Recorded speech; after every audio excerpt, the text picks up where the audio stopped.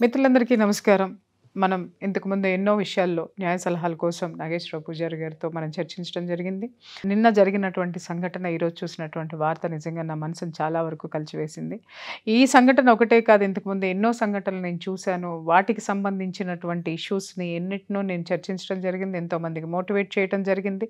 వాళ్ళు బయటకు వచ్చారు చాలా హ్యాపీగా ఉన్నారు. కానీ ఆ స్థితి నుంచి బయటికి రాలేక వాళ్ళకి కావలసినటువంటి ఆ స్థితి నుంచి బయటపడడానికి వాళ్ళకి అవసరమైనటువంటి సమాచారంకి వాళ్ళ దగ్గర లేక దాన్ని అందించే వాళ్ళు లేక కూడా వాళ్ళు తమ జీవితాలని మధ్యలోనే ముగించేసుకుంటున్నారు అనేటటువంటి విషయాన్ని చూసినప్పుడల్లా నాకు ఎందుకో చాలా బాధ అనిపించింది. ఈరోజు నేను చూసినటువంటి చైతన్య అనేటటువంటి కొరియోగ్రాఫర్ యొక్క సూసైడ్ అప్పుల బాధలు తట్టుకోలేక ఫైనాన్షియల్ ట్రబుల్స్ తోటి ఆత్మహత్య చేసుకోవటం ఎంతో చిన్న వయసు ఎంతో భవిష్యత్తు ఉంది అతనికి. కొంచెము అతను ధైర్యంగా నిలబడి ఉంటున్నట్టయితే గొప్ప జీవితాన్ని గొప్ప కొరియోగ్రాఫర్గా తను తాను ప్రూవ్ చేసుకునేటటువంటి క్షణాలు ఉండి ఉండేయేమో. ఇలాంటి వాళ్ళు ఇంకా ఉన్నారు జీవితంలో. వాళ్ళ కోసము నేను ఈ ఎపిసోడ్ చేయాలని ఒక నిర్ణయానికి వచ్చాను సో ఈ విషయంలో అప్పులో మనము మన జీవితంలో మనము తిరిగి కట్టేటటువంటి సిచ్యుయేషన్లోనే ఆత్మవిశ్వాసంలోనే అప్పులు చేయటం జరుగుతూ ఉంటుంది.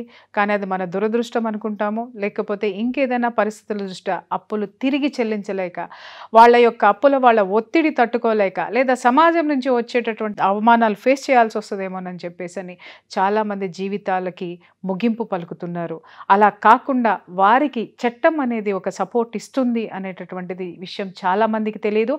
తెలిసినా కూడా చట్టాన్ని ఆశ్రయించేటటువంటి ధైర్యం కూడా ఎవరు చేయటం లేదు దాని గురించి పూర్తి అవగాహన సలహా కోసము. మన ముందు నాగేశ్వర పూజారి గారు ఉన్నారు. వారి నుంచి ఈ సంఘటనకి సంబంధించి ఈ ఇష్యూకి సంబంధించినటువంటి సలహాలు సహాయం తీసుకుందాం. సార్ నమస్తే. సార్ మీరు చూసి ఉండుంటారు. చైతన్య అనేటటువంటి కొరియోగ్రాఫర్ సూసైడ్ చేసుకున్నారు because of financial issues sir ఒక్క విషయం చెప్పండి.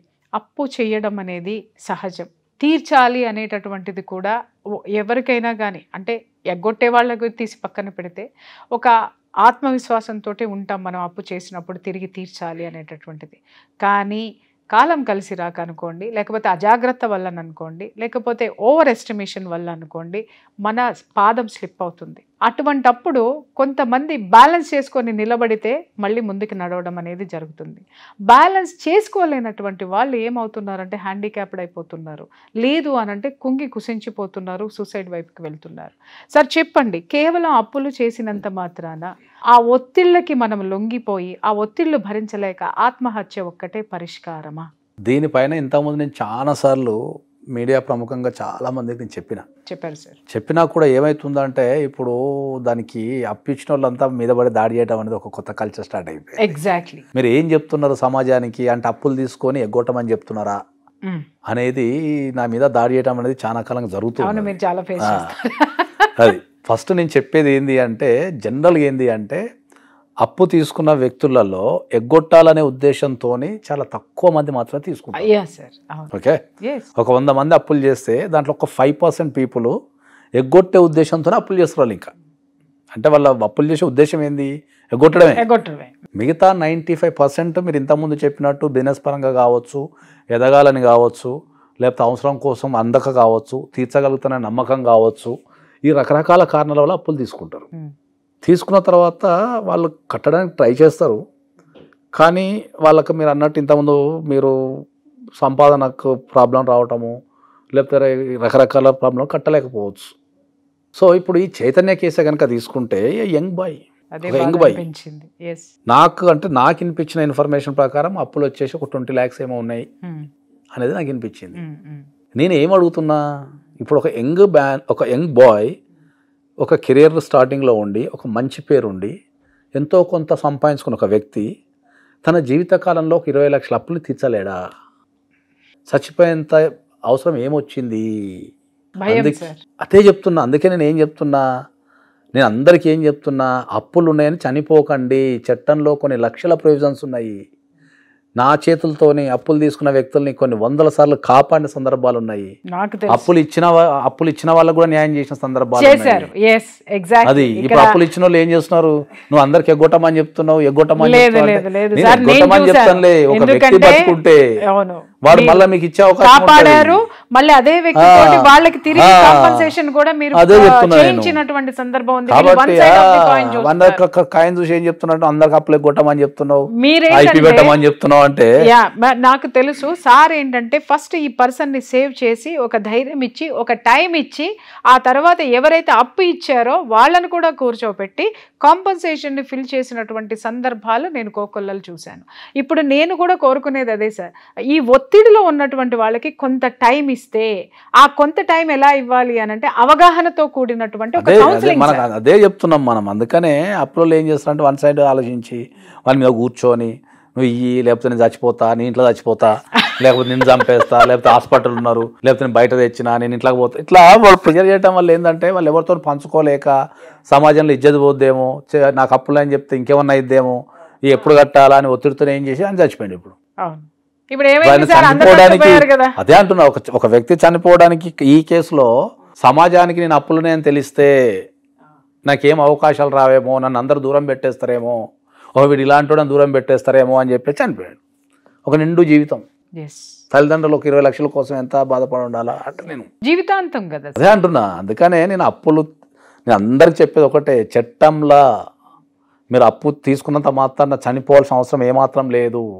జీవితం అనేది మళ్ళా తిరిగి రాదు. ఒక ఇరవై లక్షల అప్పు కోటి రూపాయల అప్పు కట్టుకోవడం చాలా సులభం. మీరు ప్లాన్ చేసుకుంటే ప్రెజర్లో మీరు డిసిషన్ తీసుకోలేరు. తీసుకోలేరు. ఓకే ఒకటే రకమైన డిప్రెషన్లోకి వెళ్ళిపోయి అదే మైండ్లో ఉండిపోయి మీరు ఆత్మహత్యలు చేసుకుంటున్నారు కానీ ఎవ్వరు కూడా ఆత్మహత్యలు చేసుకోవాల్సిన అవసరం లేదు. మీకు మీకు బ్యాంక్ అప్పులు ఉన్నా సరే మీరు ఫైనాన్షియల్ ఇన్స్టిట్యూషన్లో అప్పులు చేసినా సరే మీరు లోన్లతో అప్పులు చేసినా సరే లేదా మీకు తెలిసిన వ్యక్తుల దగ్గర అప్పులు చేసినా సరే ప్రతి దానికి చట్టంలో ఒక ప్రొవిజన్ ఉంది. మిమ్మల్ని పారిపోమని చెప్పడం లేదు. మీరు కోర్టుకు రండి నిలబడండి. అవసరమైతే సంపాదించడం అందరు గడదాం. ఇది సార్. నిలబడదాం. అందరు కడదామని చెప్తున్నాను ఆవేశపడి పారిపోవటము వేసుకొని ఎంత దూరం పారిపోతారు? దొంగతనంగా దాగపడడం. ఎందుకు దొంగతనంగా దాగపడడం?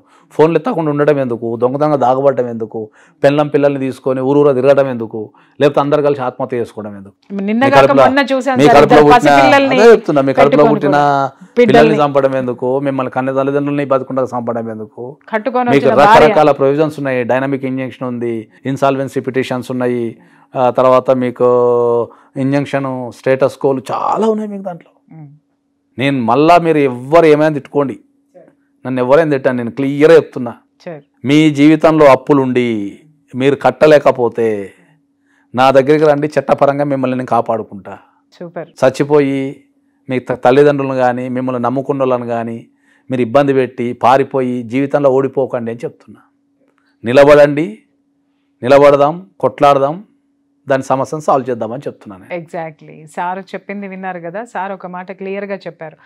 టెన్షన్లో ఉన్నప్పుడు ప్రెషర్లో ఉన్నప్పుడు మీరు ఏ నిర్ణయాలు తీసుకోలేరు. అది ఒక్కటి మాత్రమే మీకు కనిపిస్తుంది. ఇక్కడ సారు చేసేటటువంటి పని అప్పులు ఎగ్గొట్టేయడం అనేదో లేకపోతే ఎదుటివాడిని బాధ పెట్టడం కాదు. ఈయన చేసేటటువంటి ప్రాసెస్ ఆ ప్రెషర్ నుంచి బయటికి తీసుకొస్తున్నారు. ఆ ప్రెషర్ నుంచి బయటికి తీసుకొచ్చిన తర్వాత మన మీద మనకి ఆత్మవిశ్వాసం పెరుగుతుంది. అలాగే సమాజంలో మనల్ని మనం ప్రూవ్ చేసుకోవాలనేటటువంటి కసి కూడా పెరుగుతుంది. అప్పుడు మనం ఏం పని చేయాలి అన్నా కూడా దాని మీద కాన్సన్ట్రేట్ చేయగలుగుతాము. మనం ముందుకు వెళ్ళగలుగుతాము. కసితోటి చేసిన అప్పు అప్పు చేసినది వడ్డీతో సహా చెల్లించి లేదు నీకెంత స్థాయి ఉందో తాహత ఉందో అంత చెల్లించి మళ్ళీ నువ్వు తలెత్తుకుని భేషుగ్గా తిరగగలిగేటటువంటి చట్టమును అవకాశము చట్టము నీకు కలిగించింది అని చెప్పేసి సార్ స్పష్టంగా చెప్తున్నారు. ఇలాంటి విషయానికి ఎవరికైనా సరే సార్ యొక్క సలహా కానివ్వండి సార్ యొక్క సహాయం కానీ కావాలనుకుంటే మాత్రం స్క్రీన్ మీద ఉన్నటువంటి నంబర్కి కాల్ చేసి అపాయింట్మెంట్ తీసుకొని మీరు సార్ని కలవచ్చు. Thank you so much sir విలువైనటువంటి సమాచారాన్ని ఇచ్చి ఎంతో మందిని కాపాడారని మాత్రం మళ్ళీ వన్స్ అగైన్ నేను మీకు చెప్పగలుగుతాను. ఇంకొక విషయం కూడా ఏంటంటే సార్ చాలా మందిని అప్పుల్లో కూరుకున్న వాళ్ళని కాపాడటమే కాదు చాలా మందికి ఆడపిల్లల జీవితాలను ఎన్ని జీవితాలను ఆయన సేవ్ చేశారో అందుకు ప్రత్యక్ష సాక్షిని నేను. ఎంత సేవ్ చేస్తారో నేను చెప్పలేనండి. అంత నిజాయితీ కూడా సార్లో ఉంది. అది మాత్రం నేను స్పష్టంగా చెప్పగలుగుతాను. అందుకు నేను ప్రత్యక్ష సాక్షిని. Thank you sir thank you so much